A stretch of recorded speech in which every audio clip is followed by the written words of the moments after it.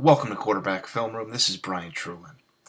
Isolation Series Easton Stick out of North Dakota State University. The Omaha, Nebraska native um, is extremely comfortable in terms of operating from under center. Now, he played in a system up in Fargo that was pro centric, meaning a lot of his work came from being under center, and he's adept at using his eyes and his feet and setting up smoothly in the pocket.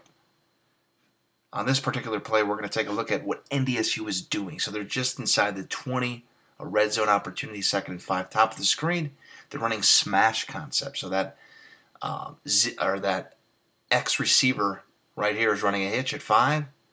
Slot player is running a corner, and then they're going to run the third part of smash, which is the seam, with their running back after stick fakes it to him. The bottom of the screen they have smash as well with their Tight ends, 12 personnel. Inside guys running a corner. Outside tight end is running an arrow route. So we're going to let the tape go and see what happens. Notice uh, Stick's smooth feet and how the angle of his initial set is to the left to influence that opposite hash safety.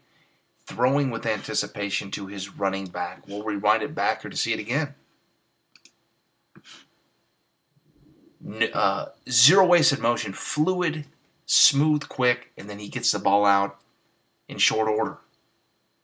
From the end zone view, here it is. Angle of the initial set, perfect. Throws a great ball down the pipe for six. Easton Stick, North Dakota State.